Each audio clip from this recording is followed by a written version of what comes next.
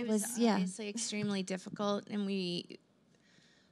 It was hard for us to navigate how to handle it um, because before everything happened, he was a part of it and a great supporter. And obviously, he was locked into Riverdale, but not only supported this, was on phone calls with um, the studio. cheering us on. and- Yeah, really. just so great. And I mean, I feel like you put it so nicely earlier about it was horrible what happened, but because of the show coming back at that very same time, we were all together when the tragedy hit. So at least we were back in each other's lives.